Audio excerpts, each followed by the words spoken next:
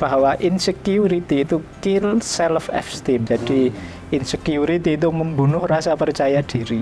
Jadi nanti pada akhirnya orang insecure ini dia ingin menyenangkan orang lain terus. Biar orang lain terus menganggap dirinya bernilai. Karena dia sendiri merasa banyak hal tidak bernilai dalam dirinya.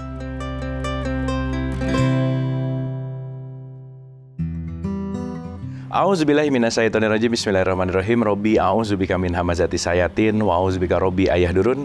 Robi srohli sodri Wa yasirli amri wahlul uqdatam milisani yafkohu kauli Assalamualaikum warahmatullahi wabarakatuh. Salam sejahtera untuk kita semua. Rahayu, Namaste, Om Swastiastu, Nama Budaya Salam kebajikan dan sehat untuk kita semua. Selamat datang di Dialog Positif Plus kembali bersama Mas Fahrudin Faiz. Wah, apa kabar, Mas? Baik. Baik, terima kasih udah hadir lagi ke Dialog Positif Plus dan seperti biasa kita akan menyelami eh, isu-isu uh, yang sedang trending gitu ya, yang lagi dibahas dan mudah-mudahan dengan obrolan kita akan menjadi suatu insight dan apa pun ini bermanfaat untuk pengetahuan ataupun untuk kesadaran.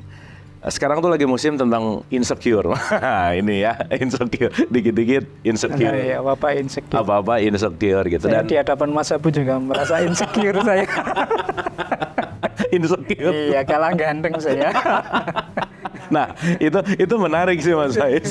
karena karena gini, insecure itu kaitannya kadang-kadang sama cari perhatian ya kan? Bagaimana dia pengen diperhatikan? Karena saya rasa salah satu basic needs dari manusia itu kan diperhatikan gitu ya Mas Faiz ya. Dan ketika dia kurang perhatian pasti cari perhatian gitu. Dan tentu saja validasi gitu. Nah gimana menurut Mas Faiz tentang insecure dari caper sama validasi ini? Jadi memang awalnya insecure itu dari perspektif diri yang agak negatif. Hmm misalnya wah kulit saya kok enggak putih ya hmm. aku kok rasanya kurang cakep ya hmm. aku kok kurang tinggi ya aku kok kurang pinter ya aku hmm. kok kurang hebat dan lain sebagainya terus merasa tidak nyaman dengan dirinya sehingga agak merasa apa ingin mundur saja dari hmm. karena khawatir orang melihat dirinya secara negatif sebagaimana dia melihat dirinya sendiri. Okay. Awalnya itu. Nah, pada akhirnya kemudian efeknya bisa seperti tadi. Sebagai kompensasi dari hal-hal yang dianggap negatif itu, hmm. dia ingin mencari validasi, mencari pengakuan dari luar, dan lain sebagainya. Jadi, berawal dari negatifnya perspektif tentang dirinya yang dilanjutkan dengan melakukan hal-hal yang sejenis apa mungkin pengorbanan diri, sejenis pengalihan biar orang lihat ini saja, tidak lihat itu dan lain sebagainya. Sehingga kadang-kadang menyusahkan dirinya sendiri. Ada istilah begini, saya teringat ada satu quotes itu bahwa insecurity itu kill self esteem. Ini tiga quote-nya ini tiga kali masih insecurity kill self esteem. Kalau overthinking itu kill happiness dan yang terakhir lies itu kill truth. Jadi insecurity itu membunuh rasa percaya diri.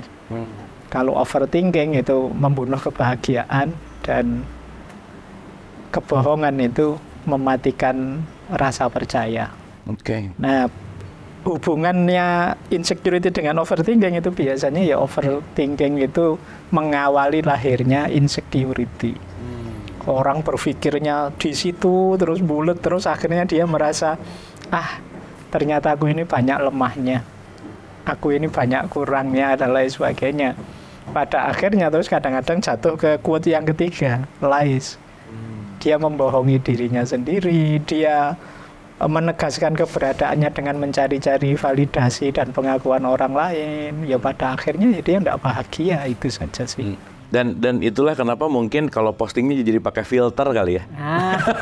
semuanya iya. karena pengen jadi... tapi tadi menarik sih Mas Faiz bahwa ketika orang tidak mengen, apa ya tidak menerima dirinya berarti kan faktor eksternal tuh buat dia penting sekali. Populer, mayoritas gitu kan. Sehingga ketika ya maaf ya, uh -uh. kalau ada orang pesek disebut pesek marah gitu Mas Faiz. Eh. Misalkan gitu. Karena mungkin pandangan dia bahwa ya itu adalah hal yang buruk gitu. Nah, berarti faktor eksternal ini yang sekarang kalau kita bicara teknologi dengan media sosial yang gencar sekali, gimana nih kaitannya Mas Faiz? Iya, jadi nanti pada akhirnya orang insecure ini jatuhnya kalau bahasa psikologi ada istilah people pleaser.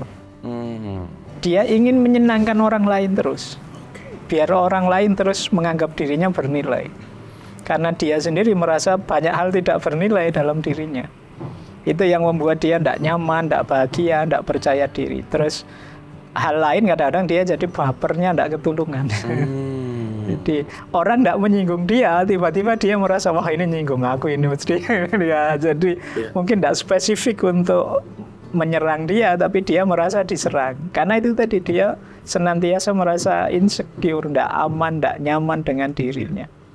Kebalikannya kan ada orang yang nyaman, aman dengan dirinya apa pun situasiku, kadang-kadang yo peduli amat orang komentar apa, yang penting saya asik, nyaman dengan diriku. Itu kebalikannya yang insecure tadi. Hmm. Kalau insecure dia sangat memperhatikan komennya orang, like jempolnya orang, hmm. pujiannya orang. Hmm. Jadi ya kayak tadi kadang-kadang uh, share profil saja dengan filter berapa kali lapis itu terus orang jadi iya. Jadi orang terus jadi oh, ketipu ini orangnya kok jauh amat dengan aslinya. Dengan realitas ya. dia tidak merasa nyaman dengan dirinya sendiri apa adanya. Iya dan tidak hanya fisik sih kadang-kadang pikiran juga begitu wah kalau saya tidak bergaya ngomong kayak gini-gini nanti dianggap tidak pinter lagi nah itu kadang-kadang orang terus ngomongnya di filsafat filsafat kan tidak pede dengan iya. jadi ya terus isinya ngutip sana ngutip sini dia sendiri tidak berani mengeluarkan pendapat pikirannya sendiri itu bagi saya jadi insecure juga.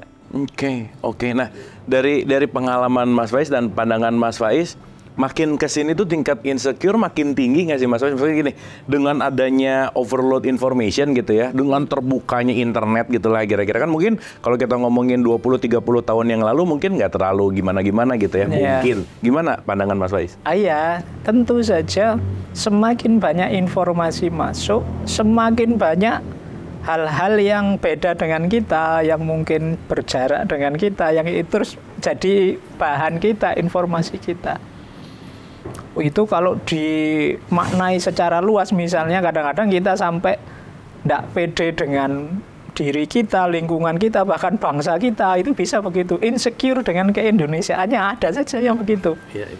Kan itu banyak anak-anak posting itu, oh dasar penduduk plus 62 misalnya. Wah, jadi kita iya, jadi ya, kita jadi jadi tidak nyaman dikenal sebagai bangsa Indonesia dikenal sebagai bangsa timur karena kita merasa yang hebat itu yang sana. Oke. Okay. Yang luar biasa itu yang standar itu ya bukan standar kita sendiri. Itu yang membuat kita jadi tidak bahagia. Kenapa? Kita tahu informasi banyak sana sini dan kita tidak punya filter untuk menyaring bahwa ini cocok sesuai dengan saya, itu tidak cocok dan lain sebagainya. Oke. Okay. Itu yang membuat orang terus tidak bahagia. Aku kok tidak begini ya, aku kok tidak begitu ya. Mbok dulu aku anaknya orang kaya, aku nglomerat. Mbok dulu saya anaknya presiden. Mbok dulu tadi menyesali dirinya. Hmm. Saya tidak akan sehitam ini kalau saya dulu anaknya artis misalnya. Mbok dulu saya lahirnya di Korea misalnya. jadi, nah, jadi masalah ya? Ah, iya, jadi dia tidak mensyukuri dirinya. Oke, ini ini menarik Mas Faiz karena ini kelihatannya kita akan lebih mendalami dalam comparing gitu ya. Bagaimana membandingkan gitu.